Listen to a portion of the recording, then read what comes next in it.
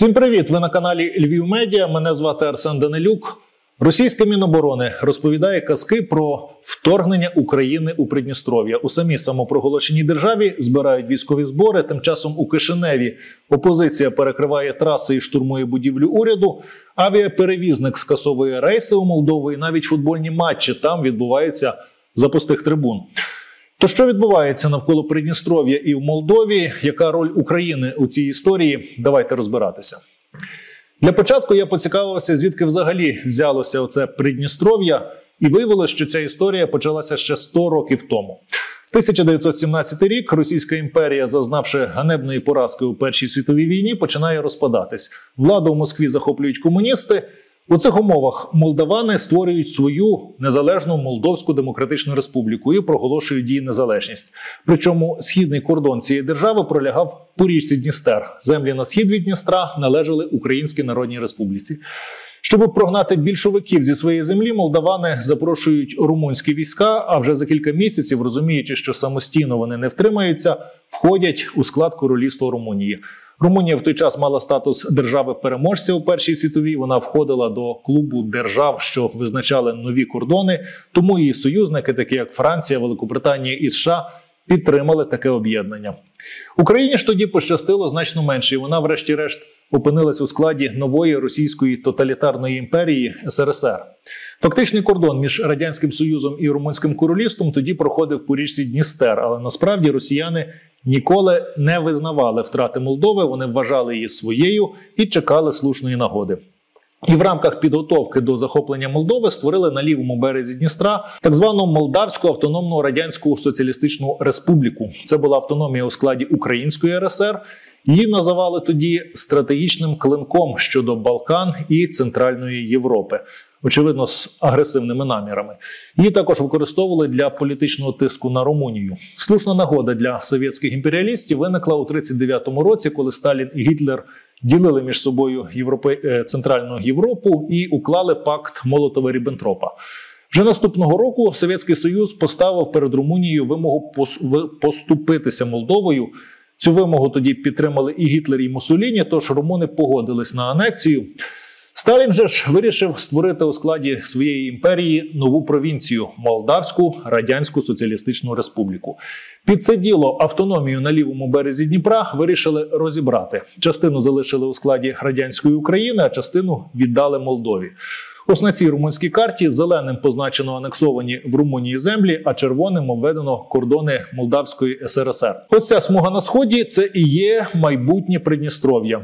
Як і будь-який керівник імперії, Сталін доволі легковажно ставився до прикладання кордонів між своїми колоніями, закладаючи підвалини для майбутніх конфліктів. Так сталося і в нашому випадку. Отже, минає півстоліття. Російська імперія, яка існувала тоді під брендом Радянського Союзу, зазнає нової ганебної поразки. Тепер у так званій холодній війні і знову розпадається. Намагаючись якось протистояти цьому історичному процесу, радянські спецслужби тоді всіляко сприяли місцевим сепаратистським рухам і утворенням у складі майбутніх незалежних держав. Так виникли нагірний Карабах в Азербайджані, Абхазія у Грузії, Крим в Україні і, звісно, Придністров'я у Молдові. Молдова проголосила свою незалежність 27 серпня 91-го року, через три дні після такого ж рішення України.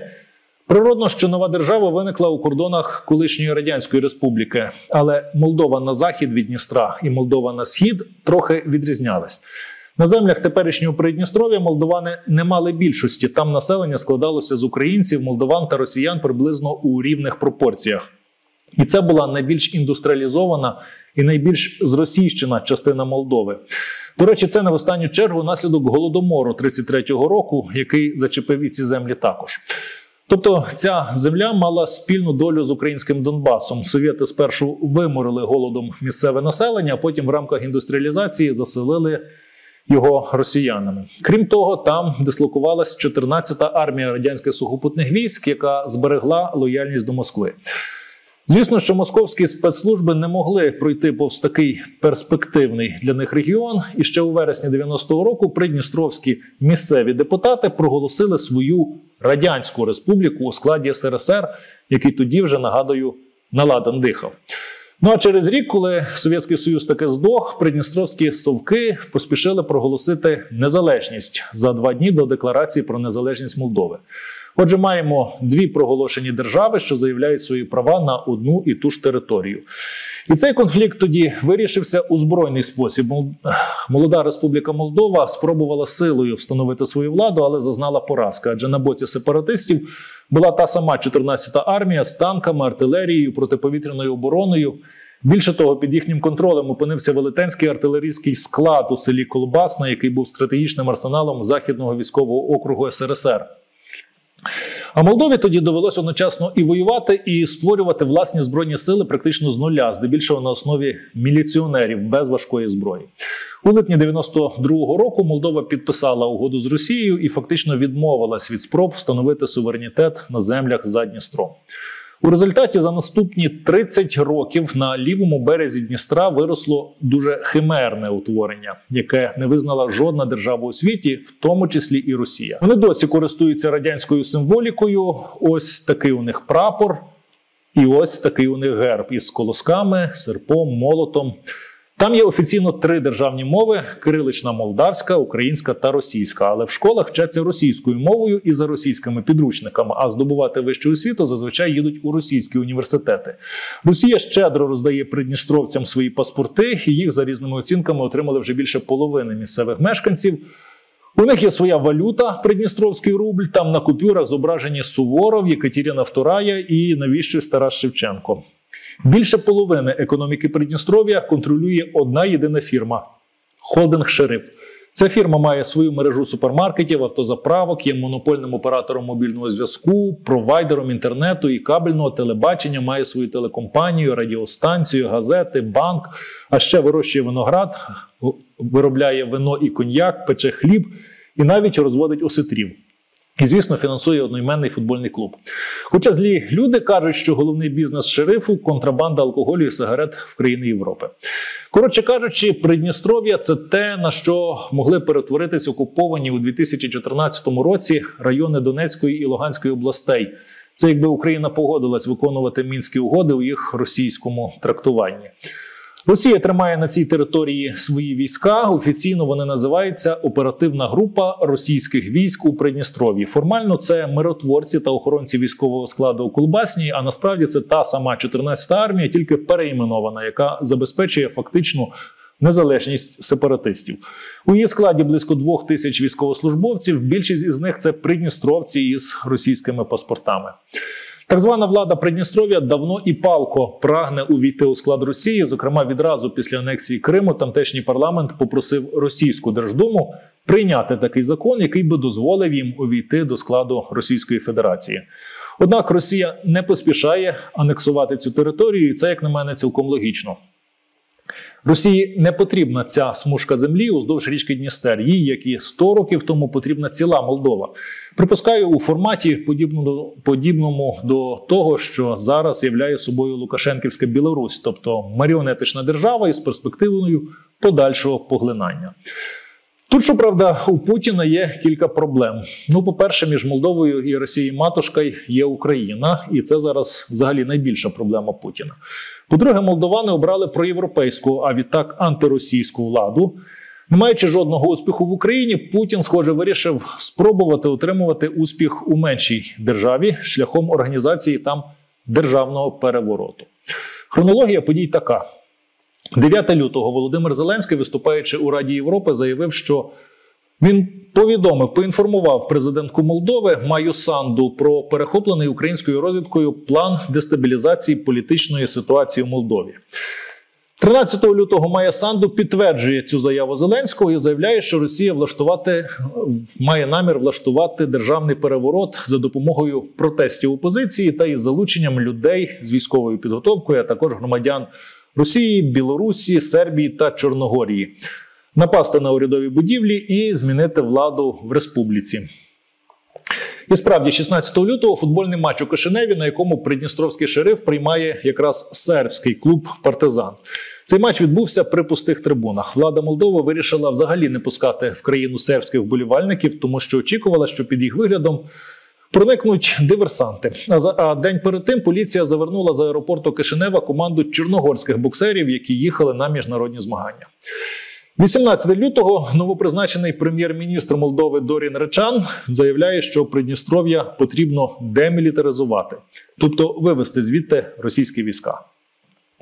19 лютого молдовська проросійська партія Шора влаштовує у столиці мітинг. Наразі мирний. Ну щоб ви розуміли, рівень популізму молдовських ватників. Протестувальники зажадали від уряду повністю оплатити рахунки всіх громадян за газ, електроенергію і опалення за три зимові місяці. Ну, нормальний такий ультиматум. Втім, цей мітинг вийшов не дуже масовим. Можна оцінити його масштаб на ось цьому відео із дрона від молдовського видання Newsmaker. Далі, 23 лютого, Міноборони Росії публікує заяву, нібито влада України готує вторгнення на територію Придністров'я і, звичайно ж, за участі націоналістичного формування Азов. Куди ж без Азову? Йому нічим зараз зайнятись, крім як на Придністров'я нападати. В Україні з цього хіба що посміялися? От Молдова сприйняла цю заяву достатньо серйозно, щоб офіційно її спростовувати. Складається враження, що це повідомлення власне було скероване у першу чергу на мобілізацію проросійськи налаштованих мешканців Молдови. Мовляв, виходьте на вулиці, скидайте уряд, бо Азов нападе. І на цьому фоні угорська авіакомпанія Візей раптом вирішує припинити літати до Кишинева. Мовляв, повітряний простір над Молдовою недостатньо безпечний. Особисто я не думаю, що це рішення прямо пов'язане із кризою в Молдові. Більш вірогідно, що йдеться про ті крилаті ракети, які Росія запускає по Україні через молдовський повітряний простір, і зенітні ракети, якими українці захищаються. Але це рішення угорського авіаперевізника додало ще один градус до загальної напруги. Тим часом активісти проросійської партії Шора, ті самі, що не хочуть платити за комуналку, позавчора вдалися вже до радикальніших дій. Вони перекрили трасу біля Кишинева, а в самій столиці влаштували штовханину з поліцейськими, намагаючись прорватися до будівлі уряду. Втім, успіху, як то кажуть, не мали. Це відео також від молдовського видання Newsmaker. В таких випадках варто вказувати автора.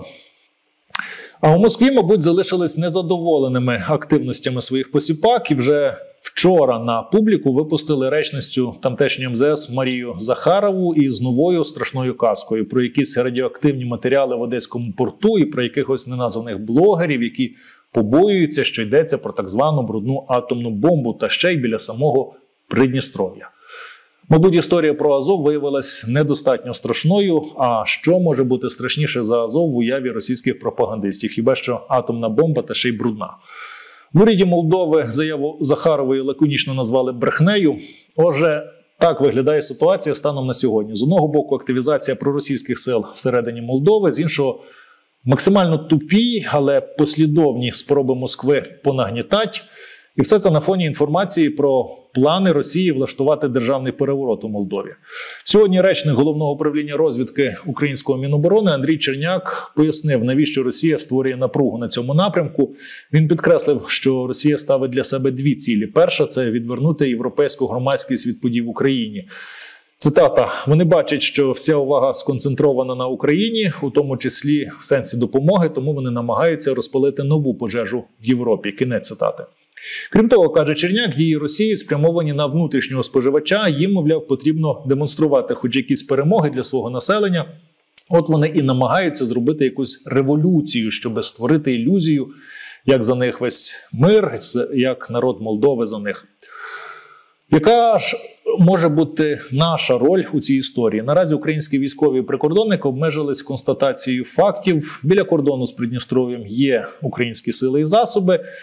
Там фортифікаційні споруди як споруджувались, так і споруджуються. Ні про який напад на російські війська на цій території не йдеться. Хоча, судячи з реакції українських соцмереж, ця ідея багатьом сподобалась. І тут, думаю, варто розставити кілька акцентів. Чи хотілося б нам, щоб проросійський анклав із російською військовою базою неподалік від Одеси припинив існування? Очевидно, що так. Чи має Україна моральне право бити ворога за межами своїх кордонів? Теж так, але бажано з дозволу законного господаря цієї території. Та Україна, незважаючи, що ця земля колись була в складі УРСР до 40-го року, Україна поважає кордони Молдови. Тут варто згадати про добровольців з УНАУНСО, які в 92-му році, мабуть, мріючи про розширення наших кордонів, брали участь у Придністровській війні на боці сепаратистів, і вони фактично допомогли створити цю проросійську самопроголошену державу. Нарешті ще одне питання: чи є Придністровський загін російських військ пріоритетною ціллю для Збройних сил України? Особисто я думаю, що ні. Думаю, що варто спершу звільнити українські землі, а вже потім, коли Російська імперія зазнає чергової ганебної поразки, думати про допомогу Молдові. Я дякую всім, хто додивився це відео до кінця. Якщо воно вам сподобалось, ставте лайк. Якщо маєте якісь питання чи зауваження, пишіть у коментарях. Якщо ж ви ще не підписались на наш канал, то обов'язково підписуйтесь. Тут вже є багато цікавого і буде ще більше. Thank